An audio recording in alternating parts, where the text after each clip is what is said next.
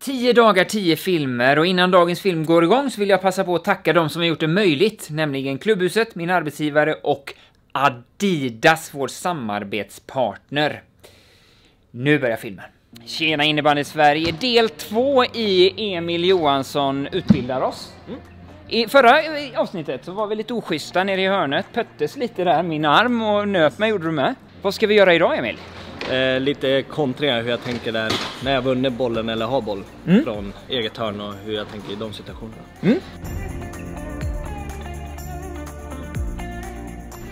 Har du, nu har du vunnit bollen. Var, var vill du? Den, du är där nere? Ja.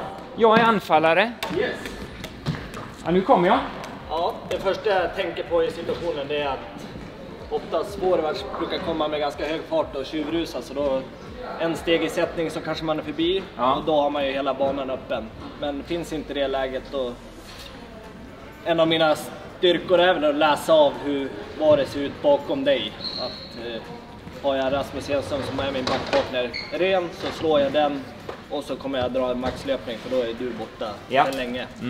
Men först och främst den är jag en spelare som gillar att göra min motståndare så det är viktigast att jag kanske drar den stegesättningen och drar. Viktigast att jag kanske... Den hade jag gått på kan jag säga. Men som sagt, eh, Men- man har ju lite spelmönster. Om, i- om bollen är, om vi är här borta, både du och jag, och bollen går ner och du inte hinner vända upp Mm. i det här läget, hur, hur, hur tänker du nu?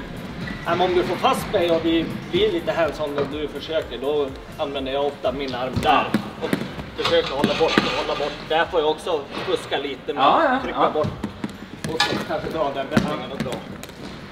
Ja.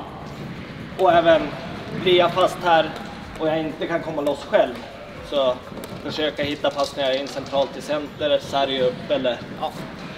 Mina medspelare får hjälpa mig i de lägena.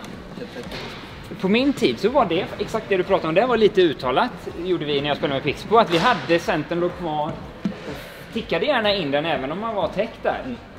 Funkar skitbra till de gångerna centern hade glömt av det och var borta och det inte var, det var bara en motståndare där inne. Men okej. Viktigt med fästet. Mm. Du kör Adidas Counterblast heter de var eller? Jajamän. Ja. Stämmer. Vi, vi går upp och så ska vi prata om skorna. Fallerar, så jag. De är lite gula sa Emil precis. Vi pratar om hans skor. Yes. De är lite gula, men det betyder att de är välanvända. Ja, de ska ju vara vita, men som sagt, det är lite svett som sitter ingrodd i dem tror jag. Ja. Hur länge har du haft eh, det här paret? Sen start av säsongen. Ja, du har kört dem så länge. Ja. De har hållit ändå. Ni håller ju ändå på en del. Ja, ja, men de håller. Det börjar bli lite nära ett byte här tycker Ja. jag. Men eh, jag kör skor tills de fallerar helt. Jag gillar att ha dem väldigt utnötta och mjuka och sköna. Hur många skor har du med dig på... Alltså hur många har du liksom i omklädningsrummet? Eh, fyra par tror jag. Ja, du har fyra par. Ja. Men eh, ett par än så länge bara.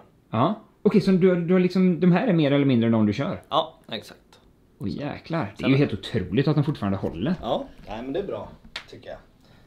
Så det är lite, ja, men lite skavanker men jag kör tills de är helt slut. Vad är det du gillar med Counterblast?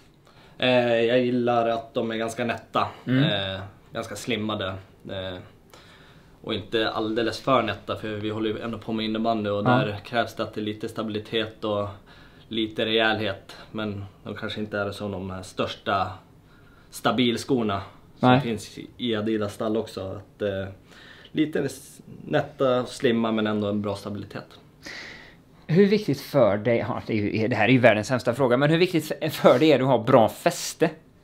Väldigt viktigt. Det känns som att du är en av de spelarna som, som behöver, alltså alla behöver bra fäste, men du, det gynnar dig väldigt mycket när du har bra fäste, för du är snabbare än alla andra. Ja, och jag har ju en spelstil lite som jag gillar att vrida och vända och, och Mm. det blir ganska mycket påfrestning i vändningarna. Och, Mm. och det kräver ju såklart eh, eh, väldigt bra fäste så det, det tycker jag Adidas levererar. Mm. Ja, jag är sjukt imponerad att dina skor fortfarande håller, om jag ska vara ärlig, så mycket som du verkar ha använt dem. Absolut. Hur mycket tränar ni varje vecka? Det blir sex pass i Ja. veckan.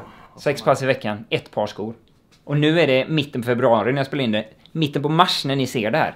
Helt otroligt. Då kanske det är nya. Vi får se. Ja, till slutspelet där. Ja, jag tror Skulle jag, det kunna hända? tror jag måste börja jobba in ett par nya faktiskt. Ah. Tyvärr. Men, eh, om jag börjar nu så blir de något Ja, härliga till slutspel. Ja, men ärligt talat, det kan faktiskt vara en bra idé. Tack för att du var med Emil, och tack för att ni har tittat ni där hemma. Vi ses i morgondagens film. Ha det bra!